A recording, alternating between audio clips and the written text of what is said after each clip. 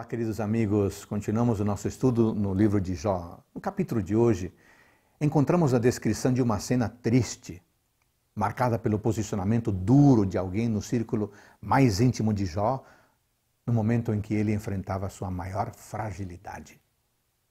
Depois de ouvir as duras acusações de Elifaz, Jó agora passa a ouvir as palavras amargas de outro amigo, Bildade. E ele foi ainda mais inoportuno e cruel em seu repertório. De maneira surpreendente, Bildade não começou seu primeiro discurso falando dos supostos erros do patriarca, mas apontou o dedo para seus filhos. Se eles foram mortos, disse ele, é porque devem ter cometido algum pecado contra Deus. Essa acusação, com certeza, multiplicou muito as dores de Jó ainda mais considerando o cuidado que ele tinha com, com a preservação espiritual de sua família. Beldade raciocinou que, se Deus é justo e não pode cometer erros, todo o sofrimento que existe no mundo tem um motivo punitivo. Ele pergunta no verso 3: Será que Deus perverteria o direito? Será que o Todo-Poderoso perverteria a justiça? Sua perspectiva era de um Deus sentado num trono, pronto para castigar qualquer um que lhe virasse as costas. Ele imaginou que os filhos de Jó e ele mesmo só podiam ter se tornado o pior tipo de pessoa. Ou não estariam naquela situação. Para provar que estava certo, Bildade usou o mesmo argumento de Elifaz.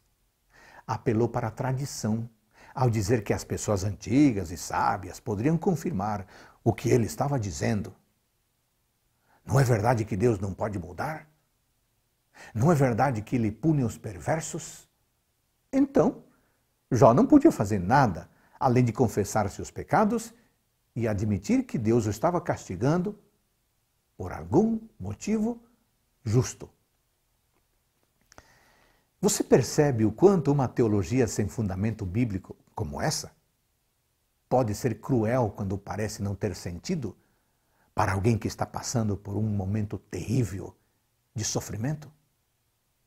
Em vez de falar da graça de Deus e da esperança que ela proporciona, os amigos de Jó colocaram todo o foco nas questões humanas.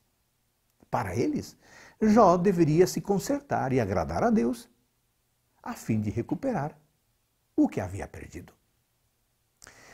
Veja, inclusive, como as palavras de Bildade ele faz acabam se parecendo mais com as de Satanás que com as palavras de Deus.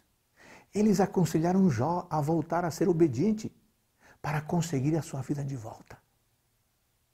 O inimigo disse a Deus: Se você fizer isso, isso, verá se Jó não se volta contra você. Agora os amigos de Jó estavam dizendo: se você fizer isso e isso, verá se Deus não se volta a favor de você.